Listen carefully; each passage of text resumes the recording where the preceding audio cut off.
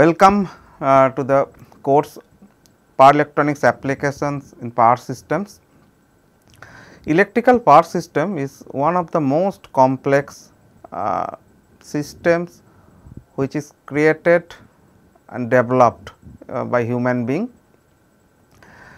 So, this electrical uh, power grid uh, uh, in, in, in India and other populous countries like China and USA is a very widely uh, uh, long geographically located and complex.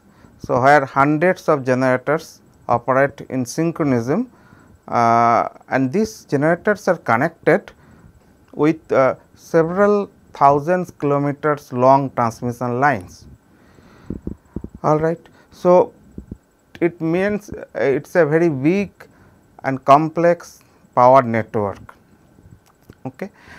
And the goal of this electrical development of electrical power grid is to generate power, transmit power and distribute power to the customers.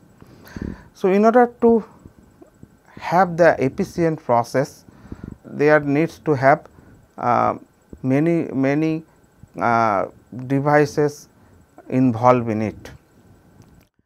And the goal of a power grid is of course uh, to, to supply a reliable, stable, uninterrupted power to the customers. So, therefore, electrical power system needs a thorough analysis uh, to, to make it uh, more reliable, stable and also resilient uh, from various events. So, in, in general as I said an electrical power grid consists of several uh, hundreds of power generators operate in synchronism. Uh, there needs to have certain devices which could assist these generators to have the efficient operation of the network. And these devices are usually called compensators. A compensator is usually a reactive power compensator which can absorb or generate or supply the reactive power to the network wherever this is these are required and whenever these are required. Okay.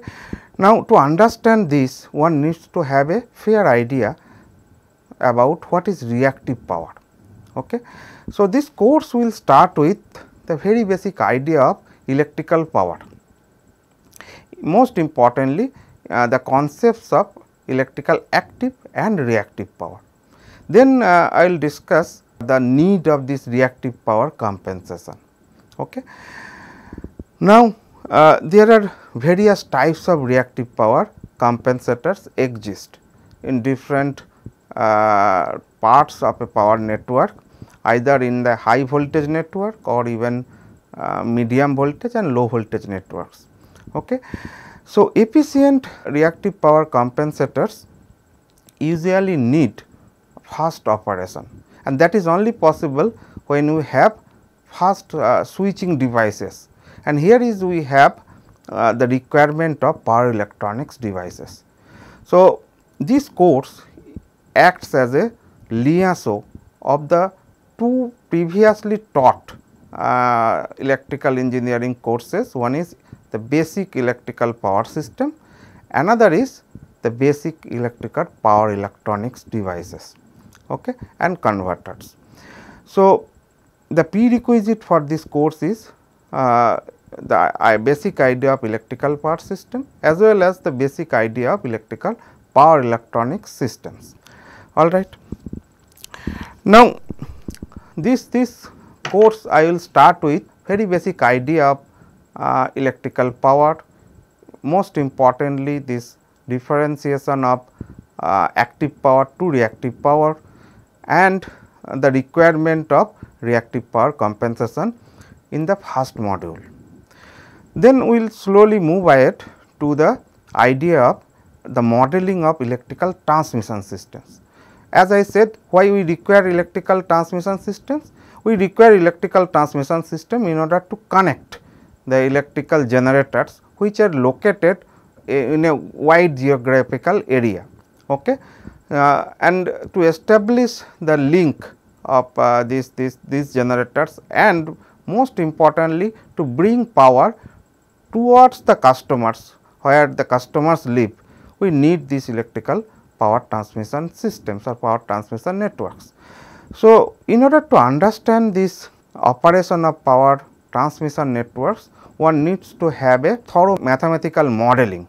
Okay. So, I will discuss the very basic idea of the mathematical modeling of electrical power transmission networks in the second module of this course. Okay. I will start from the very basic idea, I will slowly derive the all the relevant equations uh, from the scratch from the very basic idea and discuss uh, and, and also I will discuss the important uh, concept associated with it.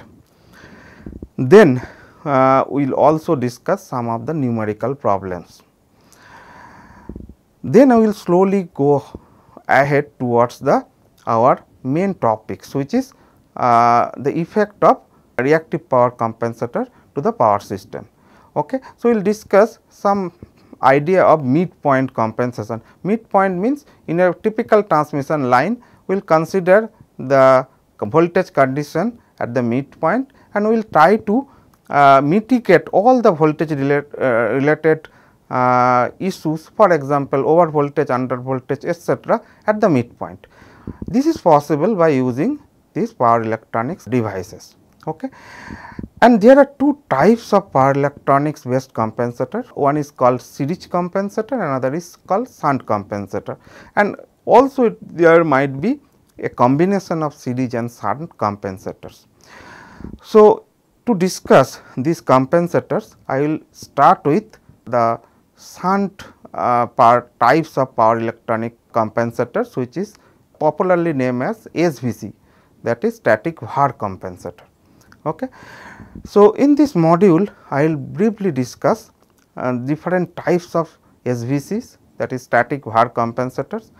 Uh, I will also discuss the mathematical modeling of these SVCs and I will also discuss the differences among the different types of SVCs with relative merits and demerits. Once I completed this, I will start discussion on the application of this SVC in practical power networks in order to achieve several goals. Now, what are the our goals?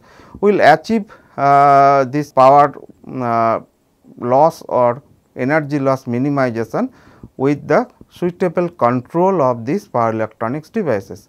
Those things we will discuss. Then we can also achieve uh, or we can also enhance the power transmission capacity of a power transmission line with a appropriate placement of SVC. So, how it is possible we will discuss. Then we will also see how an SVC can improve the power system stability.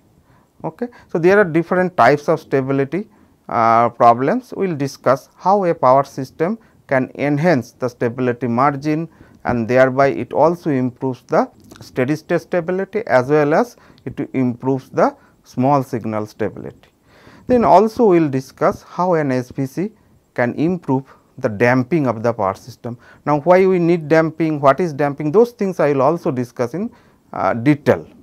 Okay. So, once I completed this discussion on SVC and its application in power system, I will also discuss the different types of modeling and control approaches of SVC primarily to control the uh, voltages or to regulate the voltages uh, at the point in which a SVC is placed. Okay. So, we will typically consider that SVC is placed at a midpoint of a transmission line and then we will discuss that how it impacts uh, in mitigating over voltage, under voltage or voltage related issues and thereby it uh, keeps the voltage regulation uh, of a power transmission line according to the norms of a particular power grid. Okay. So, this will finish the shunt type of uh, power electronics compensator. Uh, this is one class. Then we will move forward to the series type of power electronic compensators. So, we will start with uh, TCSC thyristor control series capacitor. Okay. after completion of this uh, in this particular module basically I will discuss the modeling approach of TCSC as well as its application to power system, how it impacts on a power system operation and how can it enhance the performance of a power system. Those things I will discuss in very detail. And then uh, we will move forward to a different kind of power electronics device uh, that is called uh, STATCOM, static synchronous compensators. Its operation uh, is uh, different than the its, its counterpart of SVC that is static power compensator. So, uh, how a STATCOM is different to SVC those things I will discuss and most importantly how can a, a STATCOM uh, be used in order to enhance of a power transmission network uh, performance for example, uh, to enhance the stability of a power transmission system, to enhance to, to improve the reliability of a transmission system, to uh, regulate the voltages all these things I will discuss in very detail.